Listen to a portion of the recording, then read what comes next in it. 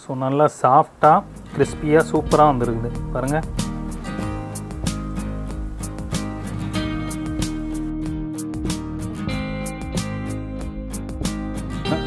so milk made milk so அதை போட்டது செம்மையாக இருக்குது. சூப்பராக இருக்குது டேஸ்ட்டு குழந்தைகளுக்கெல்லாம் ரொம்ப பிடிக்கும் இது. கண்டிப்பாக வீட்டில் ட்ரை பண்ணி குழந்தைகளுக்கு கொடுங்க.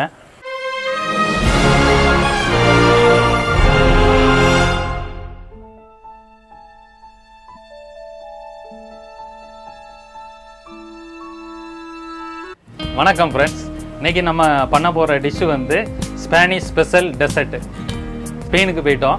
ஸோ ஸ்பெயினில் ஸ்பெஷல் இது. அதுவும் நம்ம ஊரில் கிடைக்கிற பொருளை வச்சு தான் பண்ணுறோம் அதுவும் மில்க்கு ஓகேவா ஸோ மில்க்குன்னா அப்போ வேறு ஒன்றும் இல்லை ஃப்ரைடு மில்க்கு என்னடா ஃப்ரைடு மில்க்கு நீ சொல்கிறீங்களா அப்படின்னு கேட்டிங்கன்னா உண்மையில அதுதான் ஃப்ரை பண்ண போகிறோம் ஆனால் டிஃப்ரெண்ட்டாக பண்ண போகிறோம் அது எப்படின்னுட்டு பார்ப்போம். ரொம்ப டெலிஷியஸாக இருக்கும்.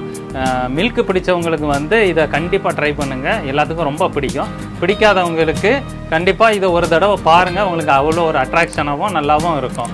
கண்டிப்பாக வீட்டில் நீங்கள் ட்ரை பண்ணுங்கள் சூப்பராக வரும். இதை வந்து நம்ம எதில் பண்ண போகிறோம் இன்றைக்கி அப்படின்னா ராக்கெட் அடுப்பில் பண்ண போகிறோம் ஸோ நம்ம பண்ணியிருக்க ராக்கெட் அடுப்பில் மொதல் டெசர்ட் இது தான் என்ன தான் ஸ்பெயின் டெசர்ட்டாக இருந்தாலும் நம்ம ஒரு ராக்கெட் அடுப்பில் பண்ண போகிறோம் ஸோ அதுவே ஸ்பெஷல் தான். ஸோ வீடியோவில் வந்து பாருங்கள் எப்படி இருக்கு நீட்டு ரைடு மில்க்குக்கு நம்ம வந்து தேவையான பொருட்கள் எடுத்திருக்கோம். என்னென்னு பாருங்கள் மில்க் அரை லிட்டர் எடுத்துருக்கிறேன். ரெண்டு டேபிள் ஸ்பூன் வந்து மில்க் பவுடர் எடுத்திருக்கேன். இது ஆப்ஷனலு ஓகேவா சுகருக்கு பதிலாக மில்க் மேட் எடுத்திருக்கேன். இப்போ சுகர் வேணும்னா சுகர் எடுத்துடுங்க இது வந்து நான் மில்க் மேட் எடுத்திருக்கேன். அப்புறம் கார்ன்ஃப்ளவர் வந்து த்ரீ டேபிள் ஸ்பூன் எடுத்துருக்கிறேன் வெண்ணிலா எசன்ஸ் இது வந்து ஆப்ஷனல் தான். ஸோ இப்போ வந்து எப்படி பண்ணணுங்கிறத பார்க்க போகிறோம் ஸோ முதல்ல மில்க் ஊற்றுறோம் நல் ஸோ அடுத்தது வந்து இப்போ கூலிங்காக இருக்கும் போதே நம்ம வந்து கார்ன்ஃப்ளவர் போட்டுறோம். கார்ன்ஃப்ளவர் போட்டு மிக்ஸ் பண்ணிடுறோம். ஏன் அப்படின்னா நீங்கள் வந்து முதல்ல போடலைன்னு வைங்களா? பிறகு வந்து கட்டி நிறைய விழ ஆரம்பிச்சிடும் ஸோ அதனால் முதல்லையே போட்டு மிக்ஸ் பண்ணிக்கிடுங்க. இந்த மாதிரி ஒயர் விஸ்க் எடுத்துடுங்க அப்போ தான் மிக்ஸ் ஆகிறதுக்கு உங்களுக்கு ஈஸியாக இருக்கும். மில்க் பவுடர் போடுறேன். இது ஆப்ஷனல் தான். இல்லைன்னா கூட பிரச்சனை இல்லை. ஸோ வெண்ணிலா எசன்ஸு இதுவும் ஆப்ஷனல் தான். அடுத்தது மில்க் மேட் ஊற்ற போடுறேன். இதுக்கு பதிலாக சுகர் வீட்டில் இருக்கிற சுகரை நீங்கள் போட்டுக்கலாம். நான் வந்து மில்க் மேடு போட்டிருக்கேன். ஸோ எவ்வளோ தேவையோ அந்த அளவுக்கு போட்டுக்கிடுங்க. அவ்வளோதான் ஸோ ஸ்லோ ஃபயரில் இதை வந்து மிக்ஸ் பண்ணிக்கிட்டே இருங்க. ஆட்டோமேட்டிக்காக இது வந்து திக்காகும் ஸோ சொல்லியிருக்கேன். ஆப்ஷனால் வந்து என்னென்னுட்டு சுகர் எடுத்துக்கிடுங்க. இது மில்க் மேடுக்கு பதிலாக அதே மாதிரி வெண்ணிலா எசன்ஸ் வந்து நான் தான் எக்ஸ்ட்ரா ஆட் பண்ணியிருக்கேன். கொஞ்சம் டிஃப்ரெண்ட்டாக இருக்கணும் அப்படின்ட்டு இதில் வந்து ஃப்ரூட்ஸ் கட்டி போ கட் பண்ணி போடணுன்னாலும் நீங்கள் கட் பண்ணி போட்டுக்கிடலாம். ஸோ லைக் என்னென்னு கேட்டிங்கன்னா பைனாப்பிள் போடலாம் ஆப்பிள் போடலாம். ஸோ ஃப்ரூட்ஸ் என்ன தேவைன்னாலும் நீங்கள் போட்டுக்கலாம். அது வந்து கடைசியில் போடுங்க. முதல்ல போட்டு மிக்ஸ் பண்ணிடுறாங்க கடைசியில் வேணால் போட்டுக்கிடுங்க. ஸோ முத முதல்ல கரிய ராக்கெட் அடுப்பில் வந்து ஃப்ரைடு மில்க் பண்ணது வந்து நம்மளாக தான் இருப்போம்னு நினைக்கிறேன். ஸோ அந்தளவுக்கு முன்னேறிட்டோம். டிஃப்ரெண்ட்டாக இருக்கணும்னு நினைக்கிறோம். ஸோ அதனால தான் கறி அடுப்பில் பண்ணோன்னா அது வந்து டேஸ்ட்டும் டிஃப்ரெண்ட்டாக இருக்குது. கம்பேர் பண்ணும்போது. ஸோ என்ன தான் வீட்டில் ஸ்டவ்வில் அடுப்பில் பண்ணாலும் இப்போ டேஸ்ட் வரல டேஸ்ட் வரலன்னு சொல்லிக்கிட்டு இருக்கோம். அது இதுவும் ஒரு காரணம் தான் என்னென்னா விறகு. விறகோட ஃப்ளேவரு எல்லாமே ஏறி நல்லா இதாக வரும். ஸோ இது வந்து குழந்தைகளுக்கெல்லாம் ரொம்ப பிடிக்கும். நீங்கள் சாயங்கால நேரத்தில் மத்தியான நேரத்தில் இதை பண்ணிவிட்டு சாயங்காலம் வந்து சர்வ் பண்ணிங்கன்னா ரொம்ப சூப்பராக இருக்கும். கிறிஸ்பியாகவும் இருக்கும். நடுவில் வந்து நல்ல ஜூஸியாக அந்த இதோட கேக் மாதிரி இருக்கும். மில்க்கு பிடிக்கிறவங்களுக்கு கண்டிப்பாக இதை வந்து ட்ரை பண்ணுங்கள் கண்டிப்பாக குழந்தைகள்லேருந்து பெரியவங்கள வர எல்லாத்துக்குமே கண்டிப்பாக இது வந்து பிடிக்கும். ஸோ இந்த மாதிரி மிக்ஸ் பண்ணிக்கிட்டே இருங்க. ஸ்லோ ஃபயர்லேயே ஸ்லோ ஃப்ளேம்லேயே பண்ணுங்கள் ஹை ஃப்ளேம் வச்சிங்கன்னா அடி உடனே பிடிச்சிரும். இன்னொன்று மெல்லிசான பாத்திரத்தில் கண்டிப்பாக வைக்காதீங்க. நல்லா திக்கான பாத்திரத்தில் வைங்க. தின்னான பாத்திரத்தில் வச்சிடாதீங்க. பாருங்கள் இந்த மாதிரி திக்னஸ் ஆகிட்டு இருக்குது. ஸோ பார்த்தீங்களா ஸோ ஆனால் நல்லா திக்காகணும். இன்னும் திக்காகணும். ஸோ அடியில் பிடிச்சிடாமல் ஸோ அதுக்காண்டி நான் கரண்டியை மாற்றிட்டேன் ஒயர் விஸ்கிலேருந்து இந்த உடன் லேடரில் எடுத்திருக்கேன். ஸோ உங்களுக்கும் வாட்டமாக எது இருக்கோ? அது ஏன்னா கீழே பிடிச்சிடக்கூடாது. மெயின் அதுதான். பால் பிடிச்சிருச்சுன்னா அவ்வளோதான் அதுக்கப்புறம் வந்து நீங்கள் என்ன தான் பண்ணிங்கன்னாலும் நல்லா இருக்காது. இதை நல்லா கிண்டிங்கன்னா உண்மையில் நல்லா டெலிஷியஸாக இருக்குது இது. இப்போ டேஸ்ட் பண்ணி பார்த்தேன். ஸோ ஆனால் இன்னும் திக்காகணும் பால் கோவாக்குன்ற மாதிரி கிண்டிக்கிட்டு இருக்கிறோம். உண்மையில் நல்லா திக்காகிட்டு இருக்குது பார்த்தீங்களா? இந்த கார்ன்ஸ்டாச் போட்டோம்ல கார்ன்ஃப்ளவர் போட்டோம்ல. ஸோ அதனால தான் இந்த திக்னஸ் வருது முதல்ல. திக்கனிங் ஏஜென்ட் தான் கார்ன்ஃப்ளவர் வந்து. கார்ன்ஃப்ளவர் மைதா இதெல்லாம் வந்து திக்கனிங் ஏஜிங்க ஏஜெண்ட்டாக யூஸ் பண்ணிக்கலாம். ஸோ இந்த கண்டெய்னர் எடுத்துருக்கிறேன். ஓகேவா இந்த கண்டெய்னரில் கீழே வந்து பட்ரு அல்லது கீ வந்து லைட்டாக தடவிடுங்க. ஏன்னா அப்போ தான் ஒட்டாமல் நமக்கு வரும். ஸோ நான் அதை வந்து தடவிக்கிட்டேன். ரெடி ஆயிடுச்சு. பாருங்கள் இந்த மாதிரி கன்சிஸ்டன்சியில் எடுத்து அந்த டப்பாவில் நம்ம போட போகிறோம் ரெடி ஆயிடுச்சு. ஸோ டப்பாவில் போட்டுட்டு நான் காமிக்கிறேன் எப்படின்னு. ஸோ இந்த மாதிரி பவுலில் நான் ஊற்றி வச்சுருக்கிறேன். ஸோ இது வந்து த்ரீ ஹவர்ஸ் வந்து சில்லரில் வைங்க. ஃப்ரீசரில் வைக்கணும்னு அவசியம் இல்லை.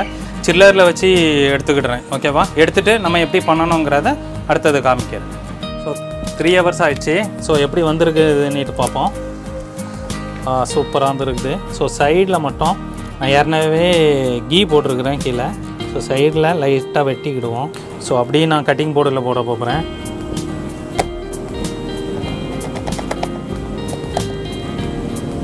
வா சூப்பராக வந்திருக்கு பாருங்கள் எவ்வளோ அழகாக வந்திருக்குது. ஸோ இனிமேல் வந்து நான் இதை க்யூப்ஸ் க்யூப்ஸாக வெட்ட போகிறேன் ஓகேவா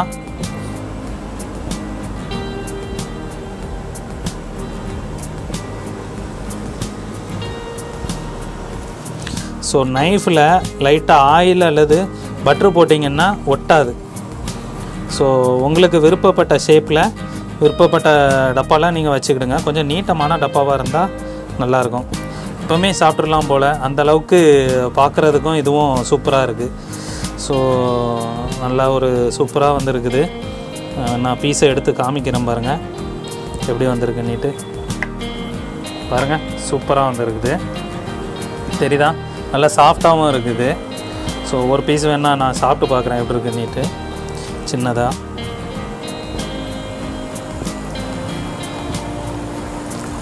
உண்மையில் சூப்பராக இருக்குது. மில்க் மேடு மில்க்கு இதெல்லாம் போட்டதுனால இது மில்க் பவுட்ரு போட்டது.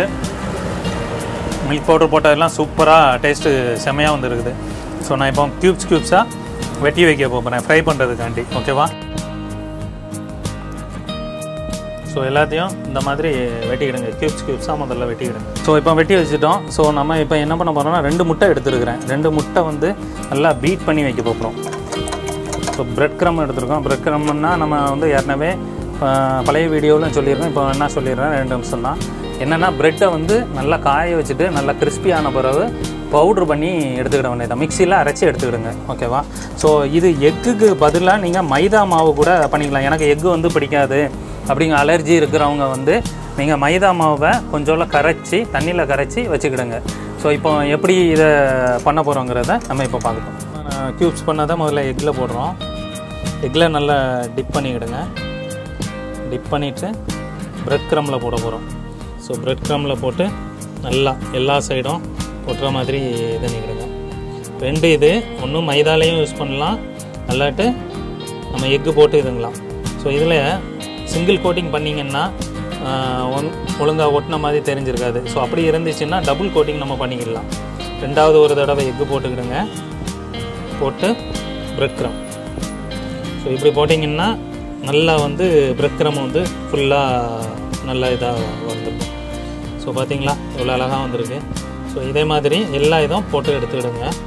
ஒவ்வொன்றா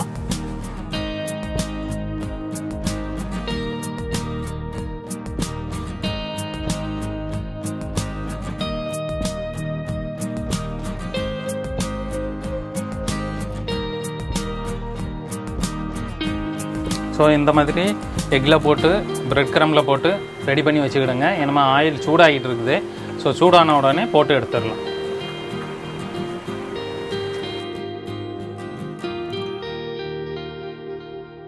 ஆயில் சூடாகிடுச்சு இனிமேல் ஃப்ரை பண்ணி எடுக்க வேண்டியதுதான். பாருங்கள் நல்லா ஹீட்டாக இருக்குது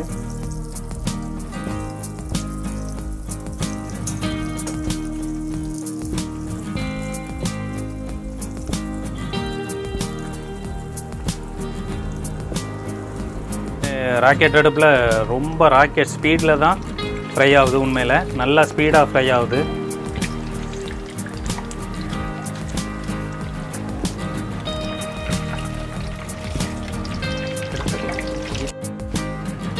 ஜெட் வேகத்தில் ஃப்ரை ஆகிட்டுருக்கு ஆனால் ஹேண்டில் பண்ண தெரியணும். ஃபயரை கரெக்டாக ஹேண்டில் பண்ணால் தான் இது வந்து கரெக்டாக குக்காமல் அல்லது சீக்கிரம் பேர்ன் ஆகிரும் ஸோ அதை வந்து கொஞ்சம் கேர்ஃபுல்லாக பார்த்துக்கிடுங்க இது டிஃப்ரெண்ட்டாக இருக்கணுங்கிறக்காண்டி தான் ராக்கெட் அடுப்பில் அதுவும் மண்பானையில் வச்சு செஞ்சுக்கிட்டு இருக்கோம். இதில் தான் மட்டும்தான் பண்ணணும்னு கிடையாது. வீட்டில் இருக்க ஸ்டவ் அடுப்பில் பண்ணலாம். இதே மாதிரி மெத்தடில் பண்ணி பாருங்கள்